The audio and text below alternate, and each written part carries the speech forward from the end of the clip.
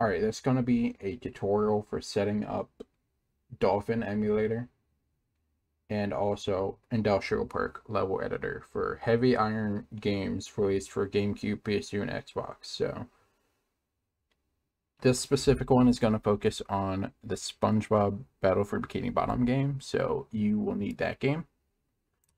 And you just put it anywhere. You need an ISO. You can get that from an actual disk. You can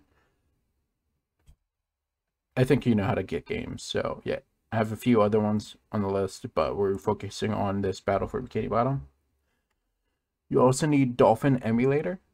Um, this one you'll want the development version, not you have to make sure it is not stable 5.0. So it'll have 5.0 with a bunch of numbers after it. And normally it'll be blank. You won't have games. You have to click config and then paths and then here I have a few other things, but you'll want to go to wherever your game is. So mine is in this emulator folder.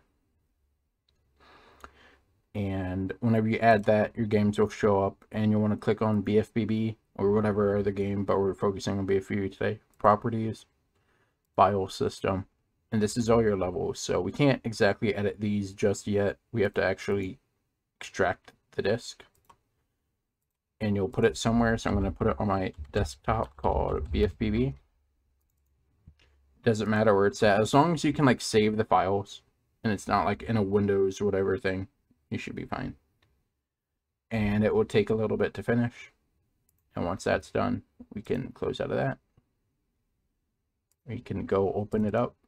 And here we have files. These are all the levels. There's a bunch of junk files too that aren't needed, but it doesn't matter for now. So, um, here's your levels, and then we can open up Industrial Park, the program. And here we don't have any levels loaded. We're actually going to have to load them. You can either do new and then a bunch of other stuff, or you can just drag them over. So we have Goo Lagoon 1. You select both of the Goo Lagoons, and then you drag them on and now you have your level. It is very messy. If you don't know how to use Industrial Park, you can either look at the wiki or there's actually a view controls thing right here.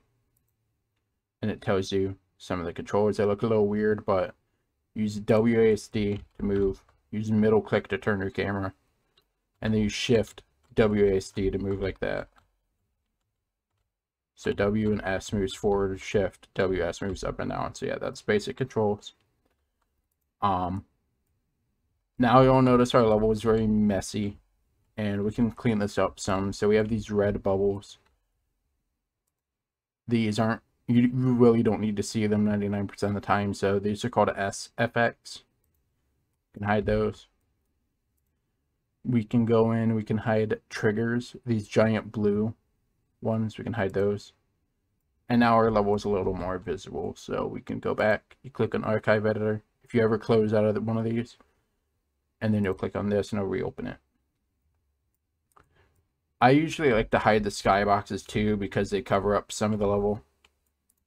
So you just click on that and then you click this checkbox and it will hide it.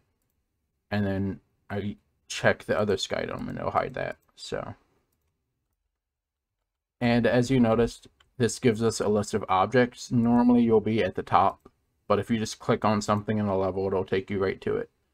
So this one is post 26. Simp means simple object. So this is there just a regular object. There's nothing special about it. We can click edit data and this will tell us position. It'll tell us rotation values, the scale, which is a size. We can change the color, a model. There's a bunch of different stuff. So if I click off of this and I change one of these to zero, now it'll be a different color. So now it's like a cyan kind of color. We can manually edit some of this stuff, like we can rotate it 45. Like you can manually edit these if you really care. But the editor can actually do this for us and you just click on your object and you get these arrows. So this lets you move it around. So I can move it right here. If you right click and go to gizmo, it lets you change it. You can also press V on your keyboard. So now we have rotation. So what we typed in, now we can just actually see it without having to type in a number every time. And then we have scale. This middle one scales everything evenly. And then these can like make it longer or wider. And then we have local, which follows the rotation. So this one will go with how it's rotated versus the other one, which can only go up and down always. So once you've played around with that a little bit, now we can start looking into platforms, which are moving objects. And if we click on display and movement preview, we can see that a lot of stuff in these levels move around. We have the balloons, these spinning platforms, this wood post, these beach towers. There's a bunch of stuff in the level that moves around. So we can actually play with these and change speeds and whatever. So we'll click on our object, we'll reopen our hip. It takes you right to it. Do edit data. We have the same stuff as before, except now there's a new section here called platform. And you can click on motion and this tells us its motion. So this one will rotate. It does a rotation on the Z axis and we can change the degree it rotates. So we could change it to 40. Rotation time, a smaller, this is how many like seconds it takes to do the whole thing. So if I change it to 1.4, it'll do all of its movement in 1.4 seconds. Acceleration, deceleration is it slows down right before it reaches the end of its movement by this much.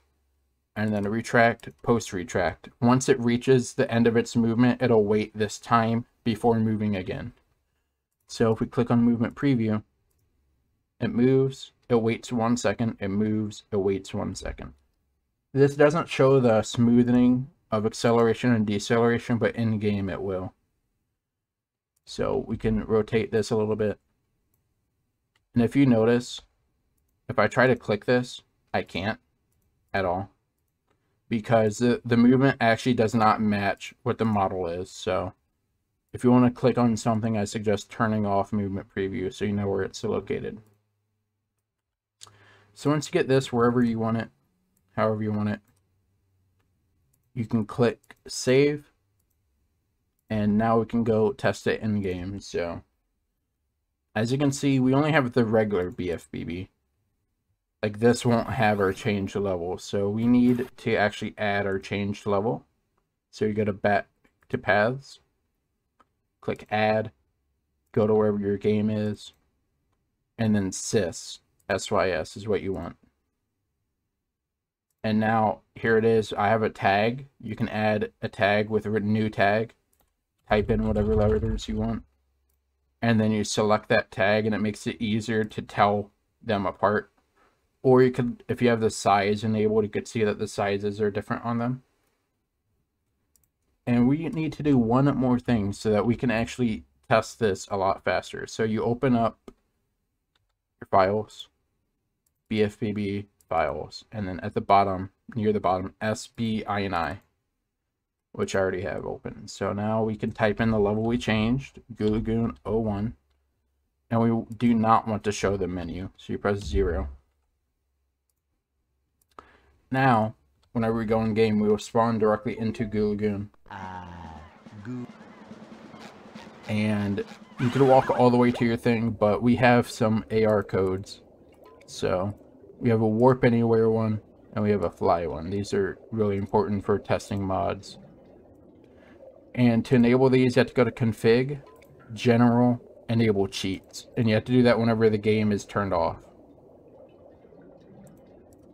And this will let us just warp directly to where we change stuff.